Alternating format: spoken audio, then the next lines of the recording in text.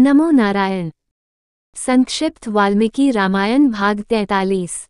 लंका पर आक्रमण के लिए रणनीति।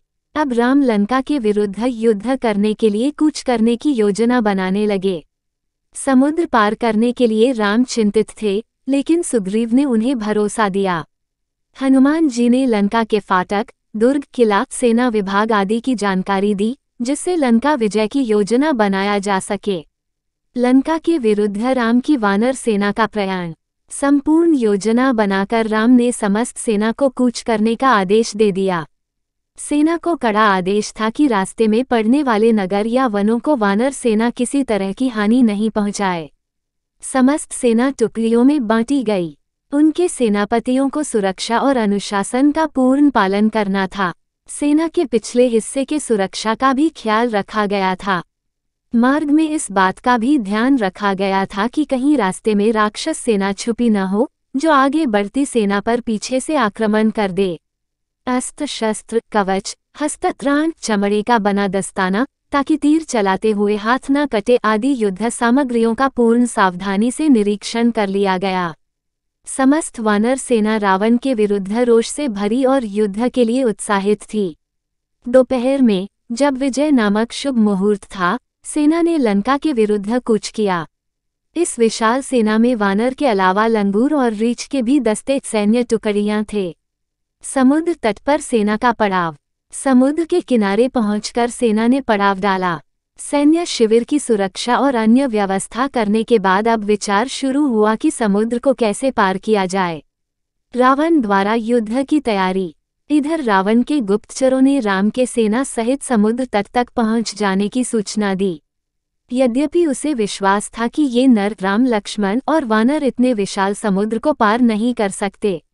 फिर भी युद्धनीति को ध्यान में रखते हुए उसने अपने मंत्रियों के साथ बैठक किया। इस बैठक में अधिकांश मंत्रियों ने रावण और मेघनाद के बल और पराक्रम का वर्णन करते हुए राम पर जीत का पक्का भरोसा दिलाया। प्रहस्त दुरमुख वज्रदंष्ट्र, निकुकम आदि ने शत्रु सेना को मारने के लिए अपना उत्साह दिखाया।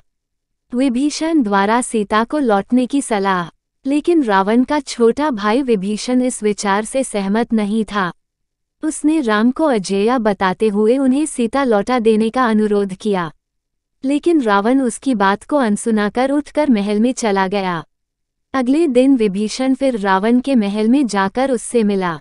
उसने लंका में होने वाले अपशकुनों को बताकर उसे फिर सीता लौटा देने के लिए प्रार्थना किया। लेकिन रावण ने अपने बल का बखान कर राम को जीत लेने का दावा किया और विभीषण को वहाँ से निकाल दिया। रावण द्वारा नगर के सुरक्षा व्यवस्था की समीक्षा और सीता के प्रति अपनी आसक्ति स्वीकारना। उस दिन रावण ने सभाभवन ने फिर इस विषय पर विचार किया। चूँकि शत्रु नज़दीक आ गया था। इसलिए नगर की रक्षा के लिए जो प्रबंध थे उसकी फिर से समीक्षा की गई और आवश्यक निर्देश दिए गए। इस सभा में रावण ने वह कारण बताया जिससे उसने सीता का हरण किया था। उसने ये भी बताया कि उसने किन युक्तियों द्वारा सीता का अपहरण किया। ये सब बताने के बाद उसने ये स्वीकार किया कि सीता में उसकी आसक्ति थी। समस्त स्थिति बताने के बाद उसने सभासदों से उनकी राय मांगी। कुंभकर्ण द्वारा रावण का विरोध। इस सभा में कुंभकर्ण भी था। वह छह महीने और कभी कभी ज़्यादा समय तक भी सोता रहता था। फिर उठता था, खा पी कर कुछ बातचीत करके फिर सो जाता था।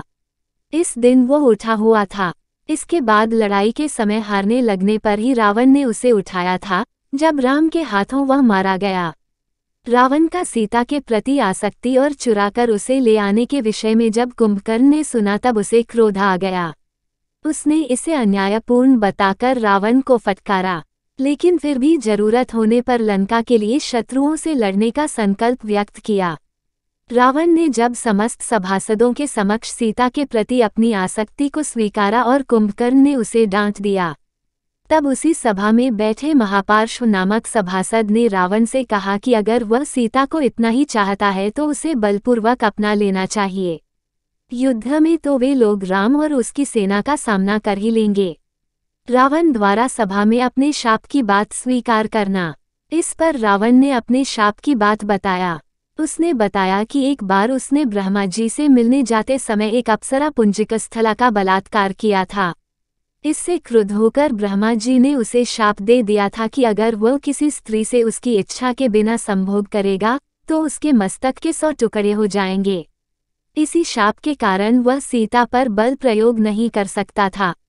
विभीषण द्वारा रावण का परित्याग कर राम की शरण लेना।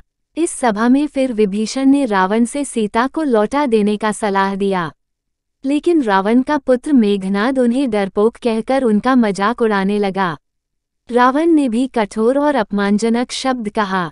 साथ ही यह भी कहा कि भाई होने के कारण उन्हें जीवित छोड़ रहा है। अगर कोई और ऐसी बात कहता तो उसे मार डाला होता। इस प्रकार जब रावण ने विभीषण को अपमानित किया, तब विभीषण अपने चार रक्षकों के साथ उठ खड़े हुए और रावण को अंतिम चेतावनी देते हुए लंका के लिए शुभकामना दिया। अपनी पत्नी और बच्चों को लंका में ही छोड़कर वे आकाशमार्ग से राम के पास चल पड़े। विभीषण को शरण का प्रश्न। इस समय राम समुद्र के तट पर पड़ाव डाले हुए समुद्र पार करने की प्रतीक्षा कर रहे थे। इसी समय विभीषण को चार राक्षसों के साथ आते देखा। विभीषण ने अपना सत्य परिचय देकर शरण की प्रार्थना की। सुग्रीवादी अधिकांश प्रमुख सेनापति विभीषण के शत्रु का गुप्तचर हो सकने की संभावना के कारण उन्हें शरण देने के पक्ष में नहीं थे। लेकिन हनुमान उन्हें शरण देने के पक्ष में थे। शरणागत की रक्षा करने की प्रतिज्ञा राम की भी थी। इसलिए विचार विमर्श के बाद विभीषण को शरण देने का निर्णय राम ने लिया। विभीषण को अपनाने के बाद राम ने उनसे रावण की शक्ति आदि के विषय में पूछा। फिर उन्होंने रावण को मारकर विभीषण को लंका की राजगद्दी पर अभिषिक्त करने की प्रतिज्ञा ली।